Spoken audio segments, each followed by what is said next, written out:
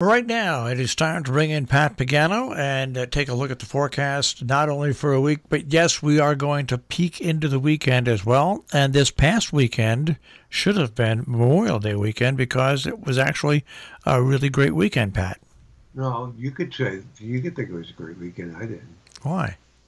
It was too hot and too humid. Oh, well, that's real. Yeah, it was humid. I had the air conditioners going, but still, uh, it was a, it was a nice weekend, and next weekend looks like it's going to be uh, going to be cloudy and and and I won't say cool, but uh, it, it, looks like at this early stage cloudy and cooler.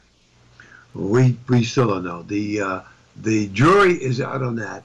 But 96 degrees at Newark Airport on Saturday, and to me, is not nice, especially with the humidity up. And I was at the lake, and it was brutal, even at the lake. Um, uh, 94 at JFK Airport. I mean, it's unheard of, uh, you know, to have heat that extreme uh, at this time of the year. And of course, a cool front came by yesterday. Yeah, there was a shower here and there, but uh, no big deal. Uh, and today, you know, it'll be partly sunny, only in the low 70s. So, you know, a good 20 degrees cooler.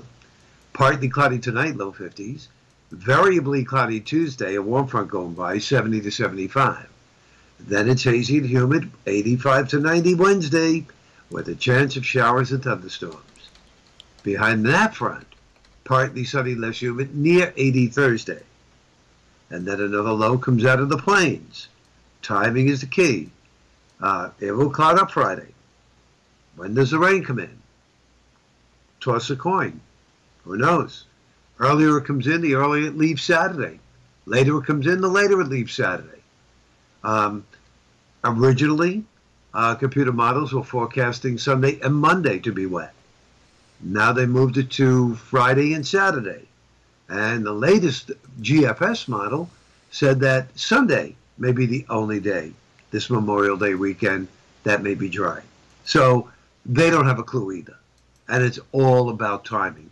And on a Monday, I wouldn't hang my hat on any of it. I would just say, you know what, folks, let's take it through Thursday, and as we go through the week, uh, we'll slowly, slowly zoom in on the holiday weekend. You know my thinking. My thinking, if I wake up Saturday morning at a training, that's it. Uh, the lake gets canceled for the day. Then if it's nice Sunday, and it's going to be nice into Monday, I'll go Sunday into Monday.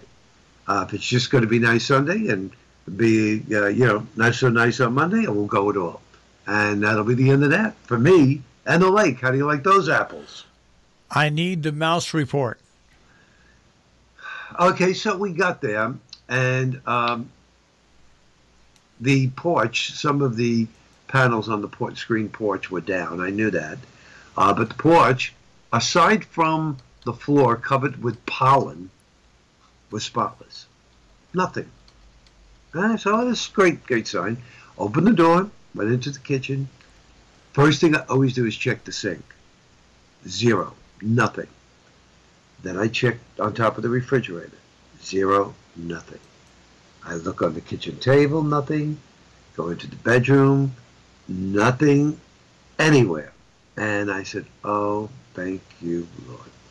So uh, my friend David popped by to help me put on the refrigerator. We always have a problem putting the refrigerator on. The igniter doesn't work, so we have to pull it out, get behind it, light it from there. But Anyhow, so we did that. And then it was about 3 o'clock, and I wanted to leave because I left Shirley home. And uh, I didn't want her staying alone too long. So I said, let me close up the windows and everything like that, and I'm doing that.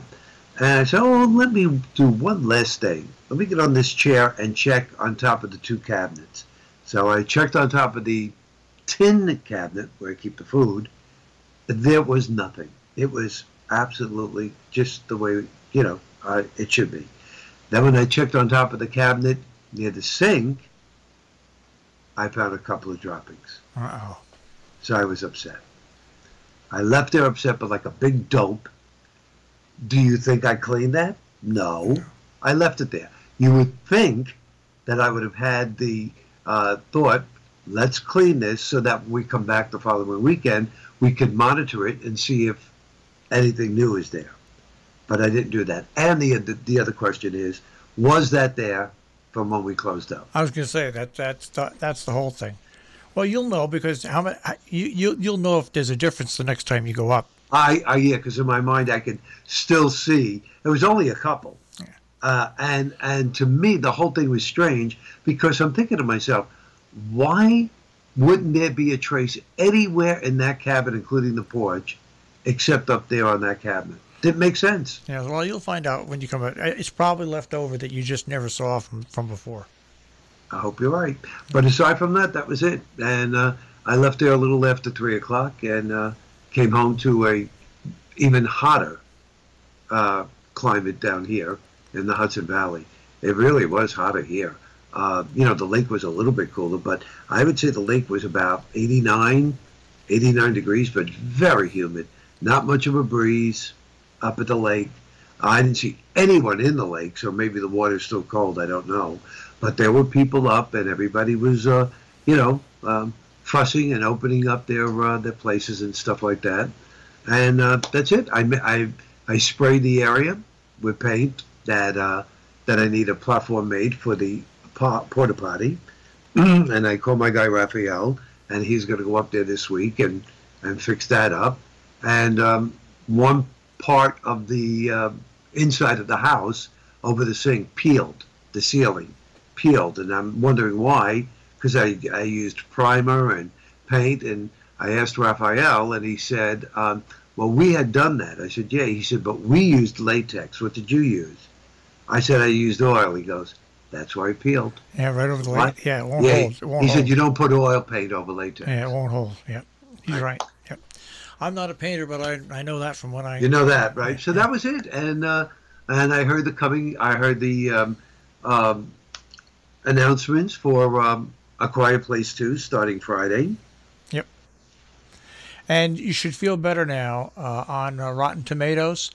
Um, Those Who Wish Me Dead is now ranked three in favorability. What was it originally? Oh, it got it was it was way down the list, and you were very surprised. Now Yeah. more people have been watching it, and it's now ranked number three. Okay. So you so so your your initial feeling was right. Okay. There you go.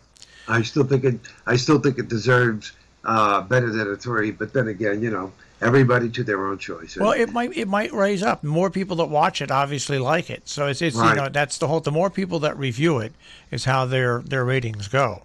So the more people that watch it, the better chance it has of going up. So I didn't watch it. I came close to watching it this weekend, but uh, I didn't. I actually was watching a lot of Major League Baseball this weekend. So oh, okay, good. So you had a nice weekend. uh, it was a de- decent weekend. I can't complain. You know, I mean, we had a horrible weekend up here. A person drowned in the Housatonic uh, very early on in the season, and uh, you know it's always bad news.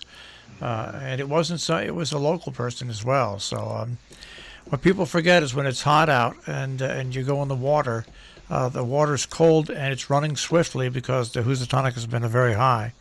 And if you and if you're wearing regular clothes like blue jeans or something like that, uh, yeah. Oh, it's it's, it's so uh, very sad. Our condolences go out to the family, but uh, and our thanks to all the local rescue workers and state police for working like four or five days to find the body. So, but that made it a, it made it a bad weekend. But other than that, it was a good weekend. So okay. can't complain. Can't complain. Uh, I'm inhaling and exhaling here on Monday morning as I was on Friday afternoon. Good for you. all right, Pat. We will check with you tomorrow. Okay, that sounds good. Have a nice day. Take care, Pat. Bye bye. Pat Pagano this morning in the Weather Center with a check on our tri state forecast here on Robin Hood Radio.